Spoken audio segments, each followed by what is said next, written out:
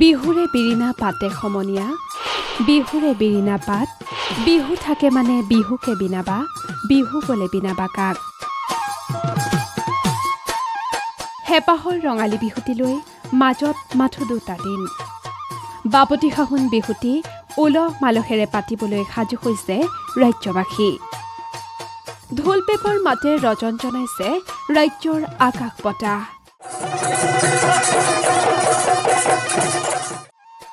তাঁতৰ পাততো বাঢ়িছে ব্যস্ততা। আখলত পিঠা পনা ভাজি বিহুলৈ বুলি সাজু হৈছে গাঁৱৰ জীয়াৰী বোৱাৰী। ব্যস্ততা বাঢ়িছে বিহুৰ বাদ্য তৈয়াৰ কৰা আৰু মেৰামতি কৰা শিল্পীসকলৰো। বগতা নেমুগুৰিৰ নিতুল নাওশলীয়া নামৰ এইজন শিল্পীৰো বাঢ়িছে ভীষণ ব্যস্ততা। বিহুৰ আগে আগে ৰাইজক বাদ্য সাজু কৰি দিবলৈ দিনে ৰাতিয়ে পৰিশ্ৰম কৰিছে এই শিল্পীজনে।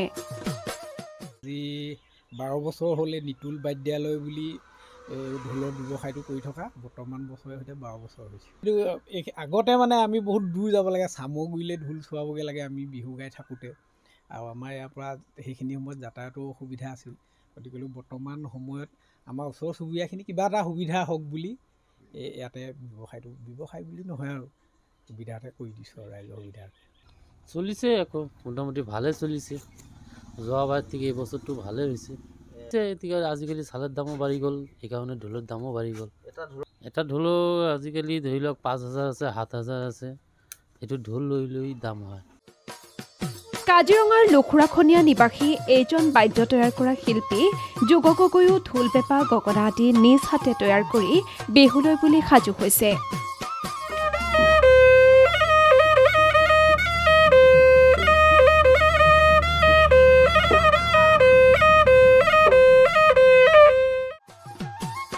লগতে গাঁৱৰ কণ কণ ল'ৰা ছোৱালীক দিছে ঢোল বাদন আৰু বিহু নাচৰ প্ৰশিক্ষণ।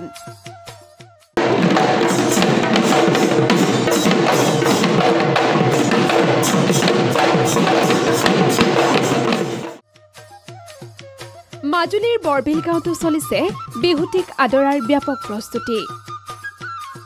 পৰম্পৰাগত জেং বিহুৰ আখৰাত ব্যস্ত জীয়াৰী বোৱাৰীয়ে জুৰিছে জাত জাত বিহু নাম।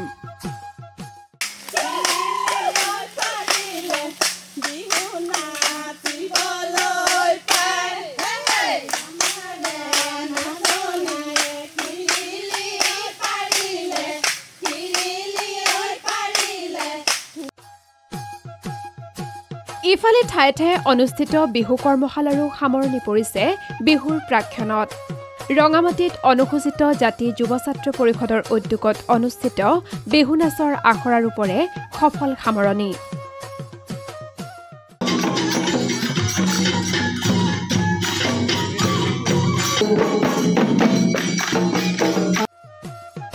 বিহুটিৰ প্ৰাক্ষণত প্ৰান্তে প্ৰান্তে অনুষ্ঠিত হৈছে বহাগী মেলাৰো।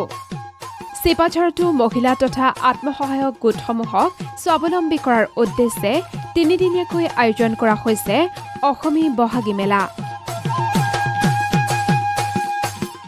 টিহুটো স্বেচ্ছাসেৱী অনুষ্ঠান গামোচাৰ উদ্যোগত দেওবাৰৰ পৰা পাঁচদিনীয়া কাৰ্যসূচীৰে আয়োজন কৰা হয় বহাগী বস্ত্ৰমেলা বিহুটিৰ আগমনৰ লগে লগে জনগোষ্ঠীয় লোকসকলৰ মাজতো চলিছে ব্যাপক প্ৰস্তুতি। জোনাইত বিহুটিক আদৰিবলৈ সাজু হৈছে তিৱা জনগোষ্ঠীৰ লোকসকল। জোনাইৰ জয়মাগুৰিত পিঠা পনা প্ৰস্তুত কৰাত ব্যস্ত হৈ পৰিছে এইসকল মহিলা।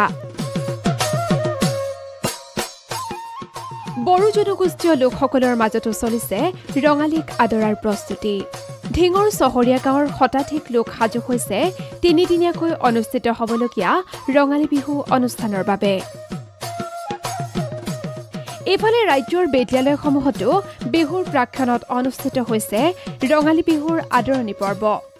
জাগিৰোড শংকৰদেৱ বিদ্যা নিকেতনৰ উদ্যোগত আয়োজিত বিহু আদৰণি পৰ্বত একেলগে বিহু নাচিলে পাঁচ শতাধিক নাচনী ঢুলীয়াই bureau' report the News Plus.